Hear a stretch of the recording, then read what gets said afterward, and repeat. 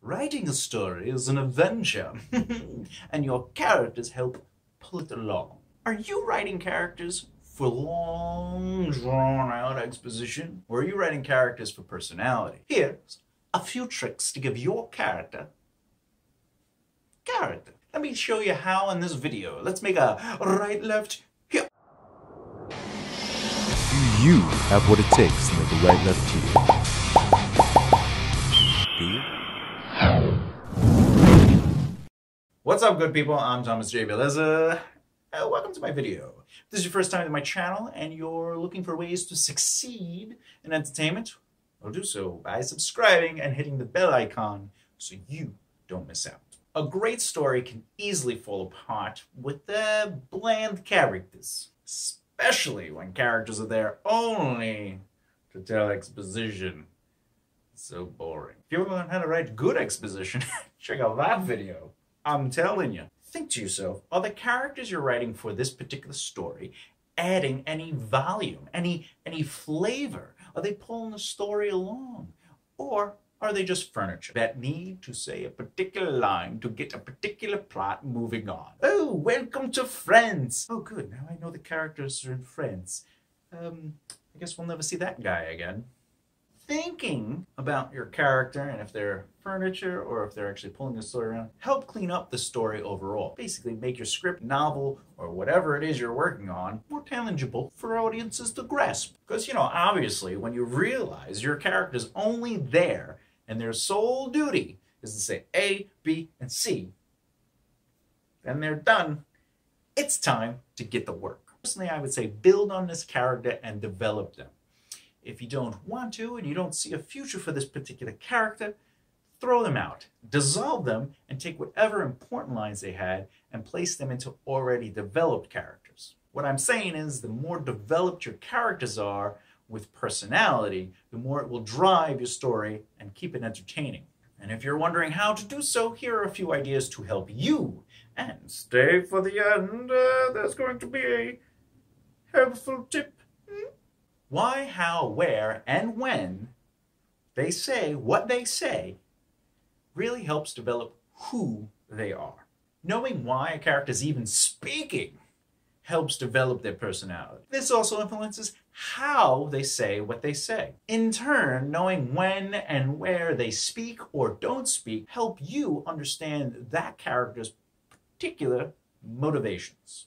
Because believe it or not, speaking just to speak doesn't necessarily help the character develop, nor does it develop and move the story along. You might write, I can't believe your brother beat up that kid on Friday in front of the convenience store. This is full on exposition. The reason it's full on exposition is because it's actually telling you what has happened in the past, when it happened, and where it happened, with who, and who was there to add flavor, maybe take this particular sentence and break it up and move it throughout a story. A page, two pages, a few scenes, whatever it is, let that information develop over time, especially uh, what's being said by uh, whatever character is saying it, and, uh, you know, their reasons and motives behind even saying it or bringing it up. Let's take that particular sentence I said earlier. I can't believe your brother beat up that kid. Friday in front of the convenience store. Break that sentence up and move it along in a script of one page. She had no idea I was even to do it, man. Total surprise. Dude, how, would you keep it from me? I had my parents hold it. I can't believe your brother. My brother? No, my brother. Yes, your brother. Still on this since last Friday. Because of him, we had to deal with the freaking police. He apologized. Apologized. Not the point. One minute was saying hi to him in front of the convenience store. The next minute, he's beating the crap out of the kid. Oh, Mike, just give it a rest. So you had to speak to the cops. We all did. You know I'm on probation, and now I'm embarrassed to even go back there. I want to show you the script on the screen, and I'm going to break it down for you because, well, why not? As you can see, we set up the room, and right off, we see what they like to drink. Basically, it's the exterior of Jack's house night. Three men stand at an outside house bar. Jack holds in his hand a beer. Chris and Mike have liquor in a short glass. Jack and Chris are in a conversation about how Jack proposed to his girlfriend while Mike is in his own head. We know this because Mike is looking in his glass and takes a sip. Also, he's not really listening to the excitement of what Jack and Chris are talking about, and that's why he interrupts him without even being enthused by the wonderful news of an engagement. Mike is clearly still bothered by something and interrupts Jack's good news. And the way they don't get mad at Mike for interrupting says a lot about A, their friendship, and B, that they all have been dealing with this since last Friday. It's something they all went through emotionally and mentally. Taking the line, I can't believe your brother beat that kid up on Friday in front of the convenience store, and spreading it out over the course of the page helps establish character in all three people and build a scene. That's the fun part about adding to personality. Chris is clearly over it all, and Jack loves his brother, so he defends his actions to the point where he is agitated by Mike continuing to talk. Mike, feeling misunderstood, leaves. And this is why, if you can create movement on a page throughout a scene by breaking up exposition, I recommend you do so. I believe you get more out of it, and it's a fun writing exercise to challenge yourself, which only benefits the story and the scene as well as the characters. One page character. I live by a small rule when it comes from writing. If you can't present any character within a page, you need to get back to work practicing how to write. In fact, one line should expose some character on that particular character because you're a writer. If you can't write character for a character in a page, there's no harm in going to practice or reading or learning or studying how other scripts work. You're more than what you say.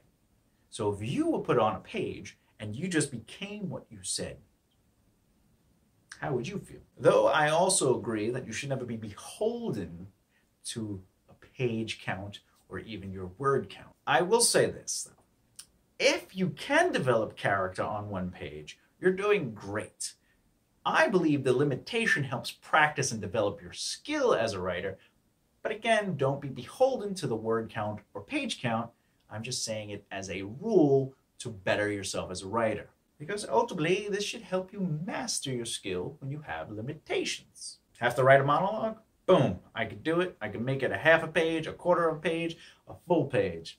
I got this. And there'll be plenty of character in that monologue. Remember, words are only a very small part of what comes from a character. Work on why, how, when, and where they say what they say to influence who they are. Even in a one page monologue, this will help you in establishing a very nice skill in storytelling. Thank you for watching this video and supporting these traveling adventures of a resilient entertainer. Please like, comment, and share the video along with subscribing for future content. Have questions, let me know in the comments below. And as always, don't work too hard, but be productive.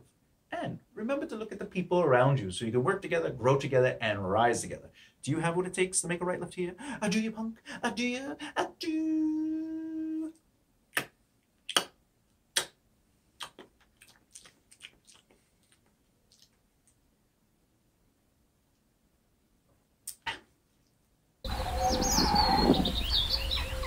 Oh dear.